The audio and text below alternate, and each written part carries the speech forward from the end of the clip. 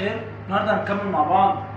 Connect 4 unit 4 the components of your house محتوى المنزل عندنا هنا. طيب أول حاجة لازم تعرفوا إن ال house هو المنزل الخارجي. قلت لك a house with a garden. The garden is very big أو large كبيرة. We can play inside the garden. بنلعب في ال garden it has a swing فيها مرجحه we have fun in it. أنا بنلعب فيه.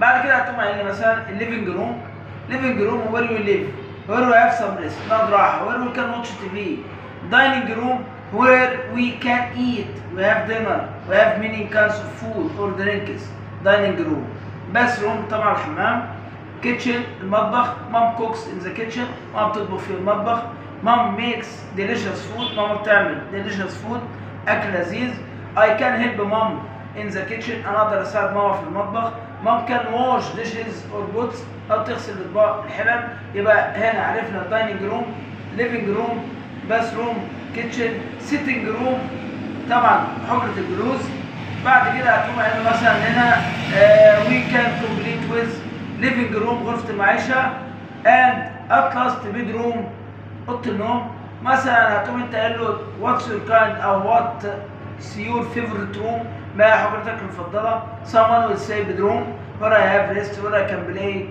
freely with my computer uh, I can play on my mobile ألعب على الموبايل I can play games someone say واحد هيقول مثلا it's the living room where I can sit with my brother or sister اقعد مع اخويا أختي with dad or mom يبقى إحنا هنا هنحاول ان إحنا نبسط بكل اسلوب إيه المعلومة للطفل.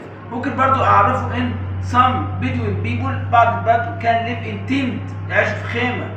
Others can live in caves البعض بيعيش في كهف. And